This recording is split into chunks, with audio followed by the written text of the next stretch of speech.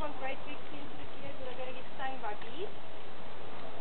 And they have pretty sharp teeth and they are extremely powerful little creatures.